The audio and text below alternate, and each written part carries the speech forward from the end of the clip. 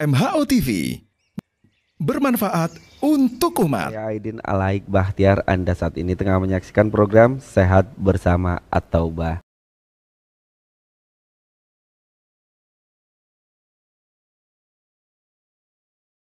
Ini sebenarnya penyebabnya apa nih? Ada gugup ya yang saya sebutkan di awal. Mungkin gugup uh, mau pidato nggak ada persiapan ya kan? Atau mau ujian tangan berkeringat atau yang tidak sering di depan kamera atau harus di depan kamera ini kan menyebabkan uh, kadang gejalanya ada tangan berkeringat. Nah Baik. ini yang medis nih tidak hmm. tidak sedang di dalam uh, di depan kamera, tidak sedang ujian, tidak sedang apa-ngapain berkeringat itu. Ini sebenarnya gimana pembahasannya nih? Baik, Bismillah.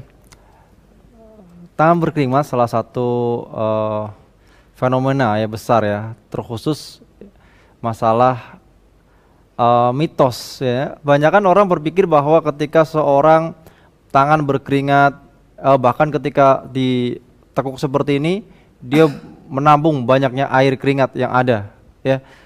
Langsung difonis saja jantungnya lemah. Padahal bukan, hanya seperti permasalahannya ya. Makanya kita belajar hari ini bagaimana melihat indikasi keringat tersebut apakah karena hanya bersifat sementara, apakah memang ada lemahnya suatu organ atau bahkan rusaknya organ, gitu.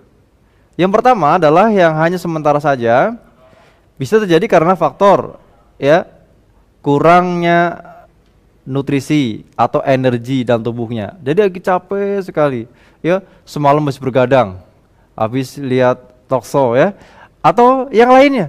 Yang kedua adalah belum makan, belum makan pun akan terjadi keringat yang bulat. Itu hanya beri sementara. Ini yang beri sementara. Yang ketiga adalah faktornya adalah dalam kondisi kebingungan. Ini ya panik, panik dan sebagainya. Ini bersifat sementara. Bagaimana tiap selanjutnya yang tiap melemahkan? Adalah yang pertama adalah dia itu mempunyai lemahnya daripada organ tubuh kita adalah limpa. Ha? Limpa itu organ di belakang perut kita. Yang kedua adalah gangguan usus halus, usus halus, ya. Yang ketiga adalah lemahnya daripada pernafasan. Berarti organ pernafasan. Paru-paru. Paru-paru. Oke. Ya. Kenapa di ketiga organ ini adalah faktornya panas. Ini. Berarti penderita atau orang yang tadi lemahnya daripada organ tersebut mengalami permasalahan gaya hidup, makan dan pola tidur, pola pikir ya. yang tidak sehat. Ini salah satu makanan yang menyebabkan hal ini yang menyebabkan lendir adalah makanan yang dipanaskan yang terlalu panas. Oh, sering makan makanan panas, mengkonsumsi makanan panas. Yang makanan dipanaskan. Okay. Contohnya apa? Dalam proses pembuatannya, contoh adalah okay. kecap. Oh, gitu. Yang kedua, makanan yang sering dihangatkan terus. Jadi uh, daging dimasak, dipanaskan lagi, panaskan lagi. Oh. Ini juga menyebabkan kelemahan tersebut. Oke. Okay. Yang ketiga, roti.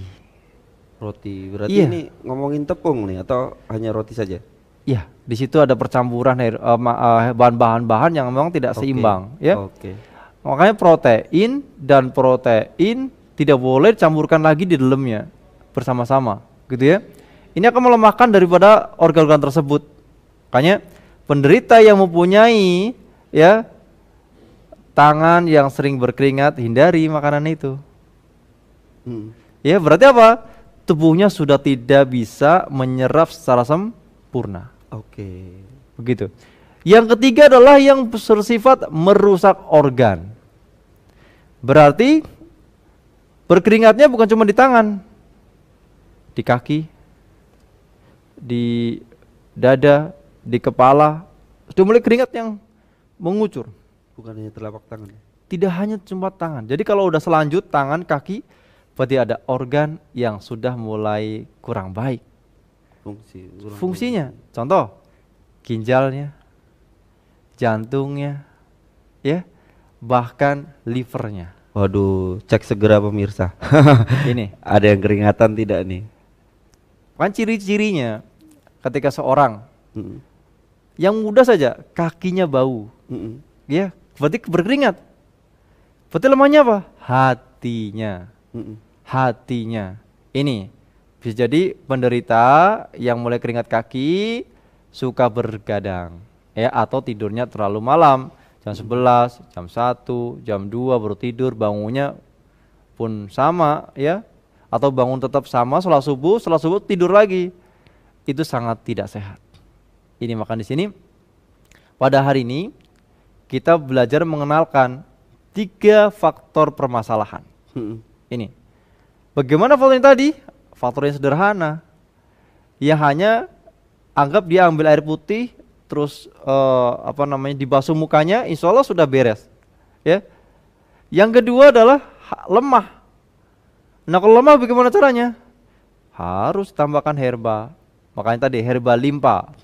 Udah tahu adalah materi yang sebelumnya temulawak dan kunyit. Ini.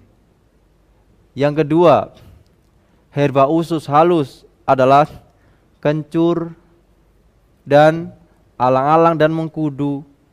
Ya biar harmonis serta kayu manis.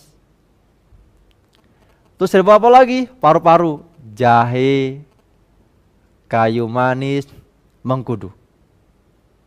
Maka di sini pemirsa Wesal TV, ketika kita sudah mulai lemah, segera ambil sebuah herba yang ikut menguatkan organ tersebut dan ingat pantangannya udah minum herba ternyata kita masih mengkonsumsi sesuatu yang tidak layak dikonsumsi oleh kita.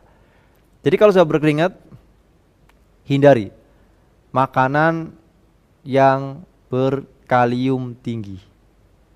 Yang kedua yang bergetah. Yang ketiga yang terlalu dingin. Jadi kayak es krim boleh nggak?